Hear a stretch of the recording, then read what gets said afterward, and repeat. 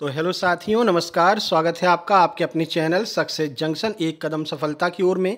मेरा नाम है अतुल शुक्ला और हम लेकर के आ गए हैं आपके लिए मध्य प्रदेश अतिथि शिक्षक भर्ती से संबंधित एक बड़ी अपडेट निकल करके आ रही है। एक नया आदेश डी, डीपीआई के द्वारा कल जारी किया गया है और इससे यह साफ़ हो गया है कि आपकी जो मेरिट है वो कितने पदों पर आने वाली है और कितने पदों की यहाँ पर ज्वाइनिंग हो चुकी है टोटल कितने पद बचे हुए हैं, डीपीआई का नया आदेश अभी हाल ही में कल जारी किया गया है। और चॉइस फिलिंग एकदम बंद हो चुकी है। अब मेरिट बनाने की प्रक्रिया शुरू हो चुकी है। अगले एक से दो दिनों में आपको मेरिट लिस्ट अपनी देखने को मिलने वाली है। तो इस आदेश का आपकी भर्ती पर क्या प्रभाव पड़ने वाला है, वो भी हम आपको बताने वाले हैं। किससे संबंधित है यह आदेश, वह भी हम आपको बताने वाले हैं।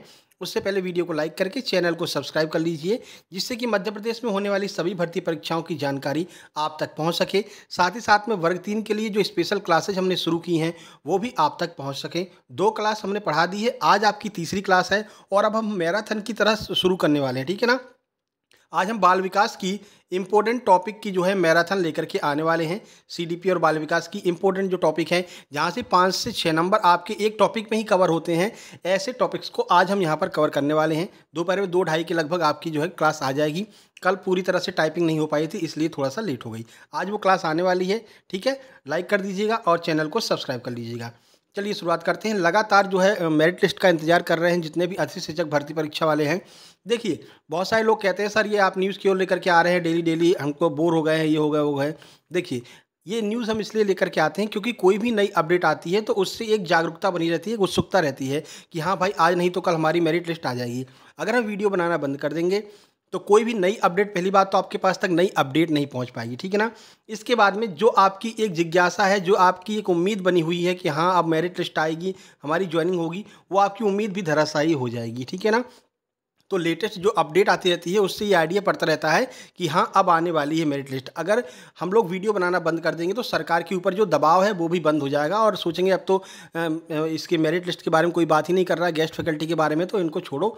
आगे की प्रक्रिया को देखते हैं, फिर वही लाडली महीना में वो लोग लग जाएँगे और कोई दबाव नहीं रहेगा। तो इसलिए जो है डेली अपडेट हम आपके लिए लेते लेकर आते रहते हैं। और जेनुइन अपडेट आपके लिए लेकर के आते हैं, जो अपडेट अभी निकली रहती है लेटेस्ट वही अपडेट आपके लिए लेकर के आते हैं।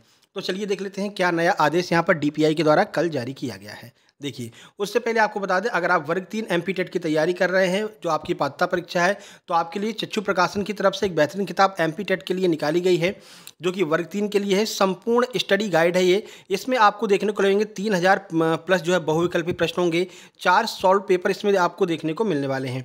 इसके अलावा मान लीजिए, आपका कोई एक सब्जेक्ट गड़बड़ है, बाकी सब ठीक है तो आप सब्जेक्टिव बुक भी इनकी मंगा सकते हैं, जैसे इंग्लिश की गणित की, हिंदी की, संस्कृत की, पर्यावरण अध्ययन की, बाल विकास की अलग अलग किताबें भी मंगा सकते हैं और इनका कॉम्बो पैक भी आप मंगा सकते हैं। अब कहाँ से मंगाना है? तो नीचे आपको डिस्क्रिप्शन बॉक्स में अमेजन और फ्लिपकार्ट दोनों की लिंक दी गई है। आप उस लिंक के थ्रू इस किताब को मंगा सकते हैं। ठीक है? इसमें इस तरह से आपको जो है सॉल्व पेपर दिए जाएँगे। सॉल्व पेपर, उनका आंसर और डिटेल में सॉल्यूशन सभी प्रश्नों का यहाँ पर दिया रहेगा और साथ ही साथ में हर एक टॉपिक को पॉइंट वाइज कवर भी किया गया होगा, ठीक है? तो इस किताब को आप मंगा लीजिए। लिंक आपको डिस्क्रिप्शन बॉक्स में देखने को मिल जाएगी या डायरेक्ट अमेजन और फ्लिपकार्ट पर सर्च करके भी आप मंगा सकते हैं।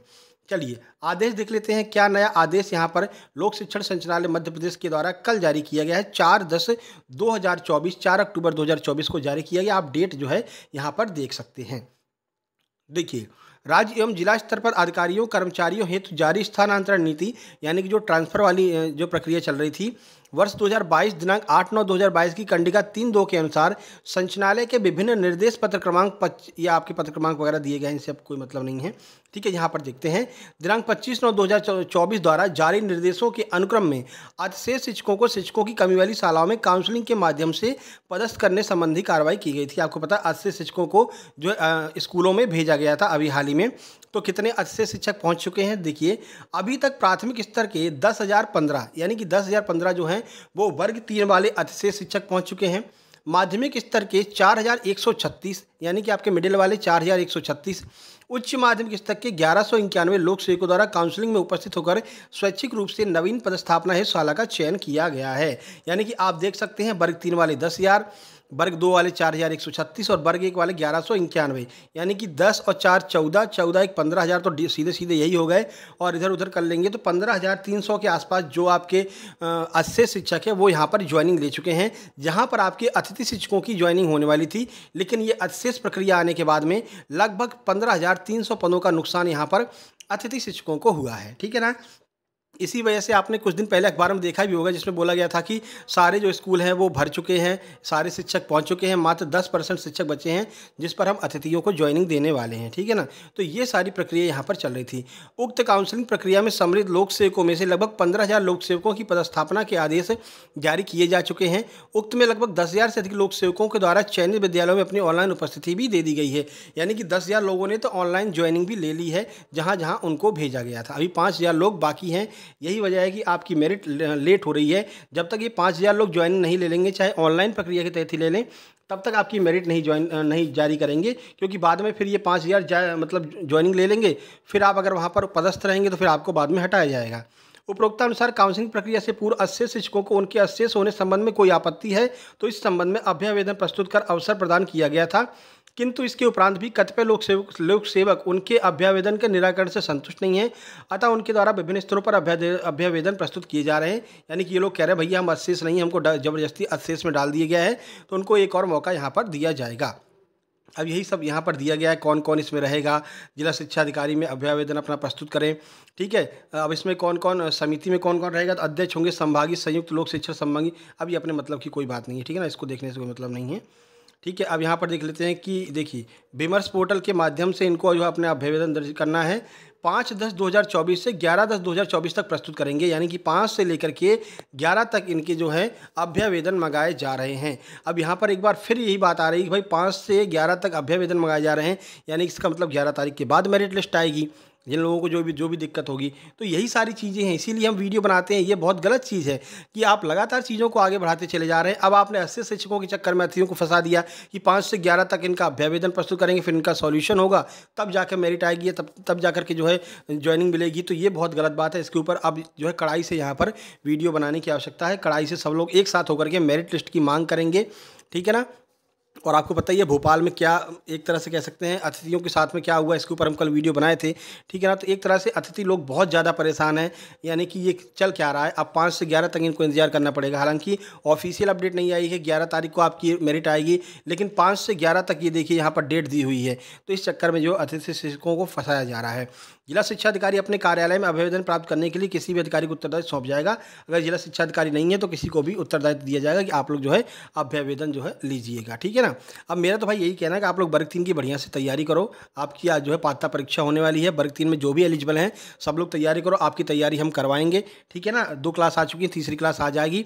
अब मैराथन की तरह हम क्लासेज को कवर करेंगे, जिससे कि एक एक टॉपिक में पाँच से छः नंबर आपके एक एक वीडियो से कवर होते चले। एक बार आप लोग यहाँ पर क्वालिफाई कर लेंगे तो आपको फिर ज़िंदगी भर दोबारा इस एग्ज़ाम को देने की आवश्यकता नहीं रहेगी। आप डायरेक्ट जो है, जब भी भर्ती निकला करेगी वर्ग तीन की आप लोग वहाँ पर अपनी फॉर्म भर सका करेंगे, ठीक है ना?